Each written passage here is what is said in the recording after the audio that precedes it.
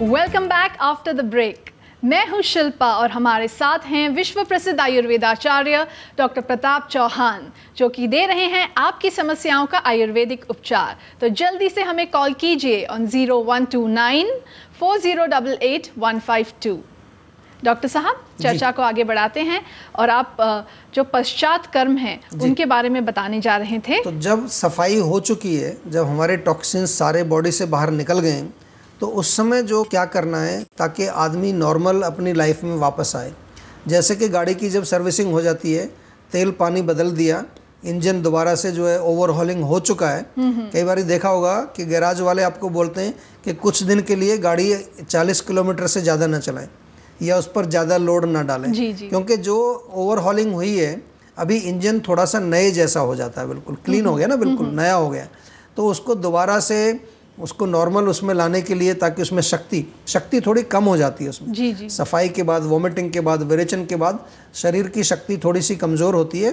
तो इसलिए हम कहते हैं कि भाई थोड़ा सा खान पान जो है एकदम से नहीं कि जब क्योंकि इतने दिन से घी पिया है घी पिया है तो उस समय हम खिचड़ी खिलाते हैं और फिर जो है विरेचन हो गया तो लगता है आज अगले दिन पराठे मिल जाएँ। क्योंकि लोग बैठे होते हैं कि आज मुझे पराठा मिलना चाहिए। तो वो पराठा अगर खा लिया आपने अगले दिन तो आपकी सारी मेहनत बेकार गई। कोई फ़ायदा उसका मिलने वाला नहीं है बहुत कम फ़ायदा मिलेगा उसको। जी जी। इसलिए आयुर्वेद में रखा है पश्चात कर्म जिसको कि वो सात दिन का तो मुख्य रूप से होता है लेकिन अगले सात दिन मतलब चौदह दिन का होता है। उसमें मुख्य रूप से शुरू में जो है जैसे चावल का पानी पिलाते हैं या मूंग की दाल का पानी पिलाते हैं फिर पतली सी जो है खिचड़ी पिलाते हैं चावल का मांड पिलाते हैं। इस प्रकार से इसको पूरा करके ताकि वो उसकी अग्नि दोबारा से प्रदीप्त हो जाए उसकी शक्ति थोड़ी वापस हो जाए और ये सब चीज़ जब वापस आएगी तब उसको कहेंगे तीन चार पाँच दिन के बाद कम से कम अगर पूरा पंचकर्म किया तो चौ चौदह दिन का होता है। हाँ चौदह दिन के पश्चात फिर वो अपना नॉर्मल दाल रोटी चावल सब्ज़ी पर धीरे धीरे ऐसे आता है इसको बोलते हैं पश्चात कर्म। जी जी। बहुत अच्छी तरह से आपने समझाया और इसी के साथ हमारे अगले कॉलर लाइन पर हैं तो देखते हैं उनकी क्या समस्या है। हेलो नमस्कार जी वेलकम टू इटर्नल हेल्थ आपका शुभ नाम? मेरा नाम मैडम रवनीत है। कहाँ से बोल रहे हैं आप? सोनीपत से बोल रहा हूँ मैडम। हाँ जी प्लीज़ बताइए क्या समस्या है आपकी? मैडम मुझे ना डायबिटीज़ की प्रॉब्लम है मैं डायबिटीज़ डायबिटीज़। कितना पुराना है डायबिटीज़ आपका? एक साल सर एक साल one year one year only अच्छा। देखिए वन ईयर है तो अभी आ, आसानी से इसमें बहुत कुछ हो सकता है और हमारे पास काफ़ी अच्छा रिज़ल्ट आ रहा है और बहुत सारे लोग ठीक हो रहे हैं और क्योंकि आपका डायबिटीज़ अभी एक साल पुराना ही है तो इसमें कोई आप संकोच ना करें किसी प्रकार का। सीधा इसी नंबर पर किसी और समय दिन में बात करिए और एक डॉक्टर से पूरा अपना हिस्ट्री लिखवाइए और दवाई मंगाइए। ये मैं इसलिए बता रहा हूँ आपको क्योंकि हमारे पास डायबिटीज़ के बहुत अच्छे रिज़ल्ट आ रहे हैं। मैं कहता हूँ कि इतने चमत्कारिक रिज़ल्ट आ रहे हैं कि हमें भी कई बार ये बड़ी खुशी भी होती है और बड़ा आश्चर्य भी हो जाता है कई बार क्योंकि डायबिटीज़ को अक्सर ऐसा माना जाता है मॉडर्न साइंस में कि डायबिटीज़ का कोई इलाज नहीं है। उसके आपको ज़िंदगी भर गोली खानी पड़ेगी। लेकिन हमने कितने ही हज़ारों पेशेंट को ठीक किया है तो मुझे उम्मीद है कि आप भी जो है चार छः महीने दवाई खाएँगे तो बिल्कुल ठीक हो जाएँगे। लेकिन क्योंकि हम अपने शो में नुस्खे भी बताते हैं तो एक नुस्खा आपको भी बताते हैं कि मेथी जो होती है एक चम्मच मेथी आप रात को भिगो दीजिए पानी में। और हाँ सुबह उसको जो है खाली पेट आपको चबा चबा करके अच्छी प्रकार से उसको खा जाइए। खाने का टेस्ट थोड़ा अच्छा नहीं लगेगा आपको लेकिन उसको खाइए। और साथ में जो है पाँच पत्ते नीम के भी आप चबा करके खाइए। ये तो आप अभी आज से शुरू कर दीजिए। और इन द मीन टाइम आप हमारे इसी नंबर पे फ़ोन करके डॉक्टर से बात करिए अपनी प्रॉब्लम को समझाइए और दवाई मंगाइए। मुझे उम्मीद है कि पहले दो तीन महीने में आपकी एलोपैथिक दवाई हम जो धीरे धीरे बंद कराने की कोशिश करेंगे उसके अगले तीन चार महीने में आयुर्वेदिक दवाई भी आपकी बंद कर देंगे और आप स्वस्थ हो जाएँगे बिल्कुल। ये मैं आपको बताना चाहता हूँ मुझे एक्चुअली ना पेनक्रियाज हो गई थी तो पेनक्रियाज की प्रॉब्लम के कारण मुझे मुझे डायबिटीज़ हुई थी। नहीं। पेनक्रियाज का अटैक हुआ था मैं अपोलो में एडमिट रहा था। जी। वही वही मैं कह रहा हूँ कि मतलब कारण कारण चाहे कुछ भी हो वो हमें पूरा हिस्ट्री जब आप देंगे ना अगर आप पर्सनली भी आना चाहते हैं तो पर्सनली भी हमारे क्लिनिक्स आप तो सोनीपत में ही रहते हैं तो दिल्ली में हमारे क्लिनिक्स हैं फरीदाबाद में तो हमारा मेन सेंटर है ही तो आप आ सकते हैं पर्सनली भी कोई दिक्कत नहीं है।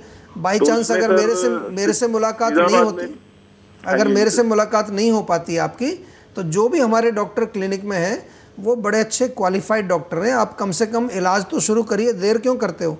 और कभी मैं क्लिनिक में होता हूँ तो मेरे से भी आपकी मुलाकात हो जाएगी उस टाइम कोई ऐसी बात नहीं। ठीक है जी? हाँ जी मैम ठीक है हाँ जी हम उम्मीद करते हैं कि आप प्लीज़ क्लिनिक पर आइए और ट्रीटमेंट जल्द से जल्द शुरू कीजिए ताकि ये जो प्रॉब्लम है ये आपकी जड़ से निकल जाए। ठीक है जी? ठीक है मैम। हमारे कार्यक्रम में फ़ोन करने के लिए आपका बहुत बहुत धन्यवाद। गुड बाय तो डॉक्टर साहब हम चर्चा को आगे बढ़ाते हैं और आपसे पूछना चाहूँगी कि पंचकर्म और आरोग्य शक्ति के बीच में क्या संबंध है? देखिए आरोग्य शक्ति हमारी जैसा कि हमने बार बार इस, इसी सीरीज़ में बहुत अच्छी तरह से बताया कि आरोग्य शक्ति हमारी वो एक अंदरूनी शक्ति है जो हीलिंग पावर हमारी है जो रोगों को दूर कर सकती है। लेकिन वो दबी हुई है अंदर कवर्ड है। क्यों दबी हुई है? कि हमारे बॉडी में कितने सारे टॉक्सिन्स हैं। हमारे मन के अंदर कितने विकार हैं। हमारी इंद्रियाँ जो हैं दूषित हो चुकी हैं। तो पंचकर्म जब हम करते हैं तो पंचकर्म करने से केवल शरीर की शुद्धि नहीं होती। हमने ये देखा है लोगों का जो कई बार लोग होते हैं ना कि बिल्कुल डिप्रेशन में हैं मन उनका जो है बिल्कुल ब्लॉक हो चुका है सुसाइड करने की वो कई बार ट्राई कर चुके हैं। ऐसे लोग भी जब हमारे पास आते हैं और पंचकर्म कराते हैं मेंटल जो मेंटल केसेस जिसको बोलते हैं जी जी जी। मानसिक विकार तो उनके उस लेवल पर भी जाके जो है पंचकर्म का इफ़ेक्ट पड़ता है। क्रियाएँ सारी फ़िज़िकल हैं लेकिन ये जो शरीर है हमारा ये केवल शरीर अकेला नहीं है शरीर के साथ ही मन जुड़ा है। और शरीर के अंदर ही इंद्रियाँ हैं हमारी और इसी के अंदर आत्मा रहती है। तो अगर हम एक चीज़ पर कोई काम कर रहे हैं तो वो ऐसा नहीं कि दूसरे पर असर नहीं डालता। सबका ही शोधन होता है। मैंने तो यहाँ तक भी देखा है क्योंकि मैं खुद भी इस प्रक्रिया को कई बार करता हूँ कि इसके करने के पश्चात आपका जो चित्त जो है सब कॉन्शियस माइंड वो भी निर्मल हो जाता है बिल्कुल। उसमें जो कई बार चल रहे होते हैं ना पुराने संस्कार। जी जी। कोई पूर्व जन्म के और कहाँ कहाँ के संस्कार जो भरे पड़े वहाँ उस लेवल तक साफ़ करता है। तो आरोग्य शक्ति तो ऑटोमेटिकली फिर आपके अंदर इतनी पावर आ जाती है कि बॉडी आपकी किसी भी प्रकार के रोगों को दूर करने की उसमें क्षमता आ जाती है। जी जी। बहुत बढ़िया तरीके से आपने समझाया। इसी के साथ हमारे एपिसोड का वक्त समाप्त हो चला है। जी। तो आपसे रिक्वेस्ट करूँगी अगर आप हमारे दर्शकों को कोई टिप्पणी दे सके। देखिए टिप्पणी आज की हमने पंचकर्म की बात की है तो जैसे आप अपनी गाड़ी को हर छः महीने में जाते हैं धुलाई कराने के लिए ज़रूरी होता है वो। अगर ना जाए तो गाड़ी ख़राब हो जाएगी। तो कम से कम छः महीने नहीं तो साल में एक बार ज़रूर अपनी इस गाड़ी को धुलवाना चाहिए, क्योंकि इसमें हम दिन भर गंदगी डालते रहते हैं और इसको कभी साफ़ करते नहीं अंदर से। गाड़ी तो फिर भी बाहर से रोज़ धोते हैं, सफ़ाई करते हैं उसकी, लेकिन इसको कभी नहीं धोते, कभी साफ़ नहीं करते, केवल गंदा करते हैं। तो हर व्यक्ति को जो है कम से कम साल में एक बार पंचकर्म ज़रूर कराना चाहिए। यही आज की मेरी जो आपको एक टिप है और ये बहुत अच्छी टिप है। अगर आप ये इसको फॉलो करोगे तो डेफिनेटली आप 100 वर्ष तक बिल्कुल जवान बने रहोगे और आपको कोई रोग नहीं आएगा। Thank you very much doctor साहब आपका बहुत बहुत धन्यवाद। थैंक यू जी। सो फ्रेंड्स एपिसोड समाप्त होने के बाद भी आप लोग हमें कांटेक्ट कर सकते हैं। नोट कर लीजिए हमारा पता। Jiva Ayurveda Jiva Marg sector 21 B Faridabad Haryana.